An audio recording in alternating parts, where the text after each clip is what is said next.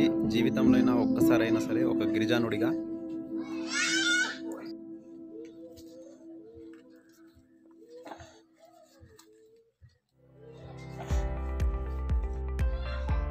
ఇవి ఎప్పుడైనా సరే బాగా లేతవి తీసుకొని మనం రొట్టె తయారు చేసుకుంటే బాగా స్వీట్గా టేస్ట్గా వస్తుంది.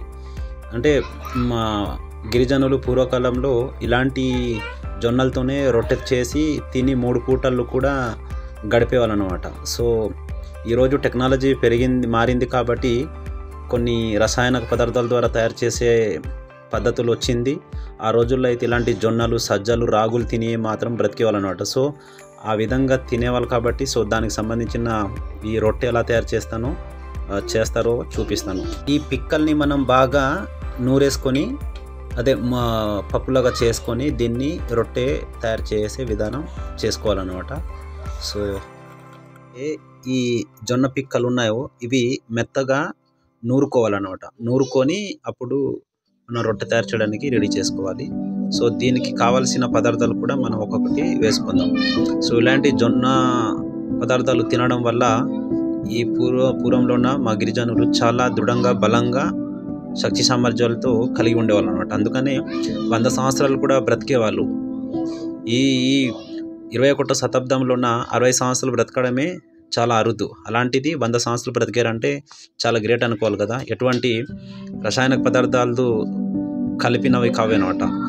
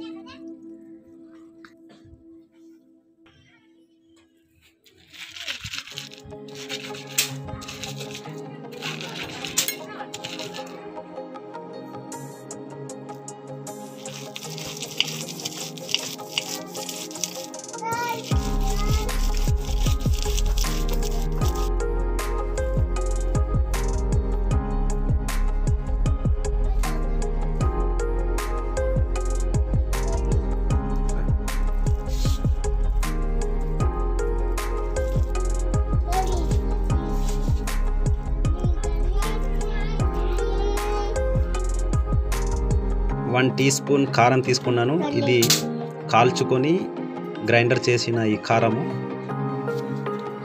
ఇందులో వేసుకుంటున్నాను. టేస్ట్ కోసం తగినంత సాల్ట్ తీసుకున్నాను. ఇది ఇప్పుడు ఇక్కడ ఇది మొత్తం మిక్స్ చేసుకోవాలా? ఇంగ్రీడియంట్స్ ఇంకేమి కూడా అవసరం లేదు ఇందులోన. ఇవి అడ్డాకులు. ఇందులోన చదునుగా చేసుకొని కాల్చుకొని తినడమేనండి వినండి ఆకుల దగ్గర. ఆకుల దగ్గర కాల్చడం వల్ల చాలా రుచిగా ఉంటుంది.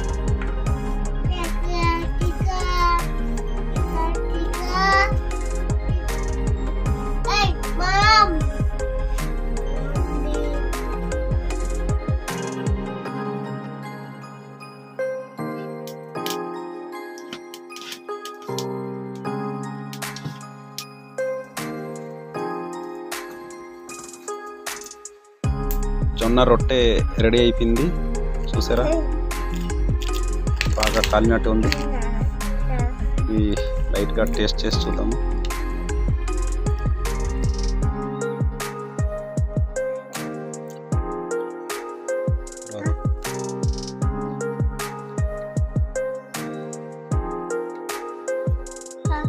చాలా బాగుంది.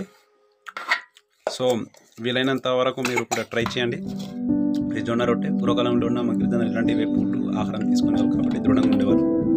సో ట్రై చేయండి మీరు కూడా. చాలా స్వీట్గా సూపర్గా ఉంది. నాకైతే చాలా నచ్చింది.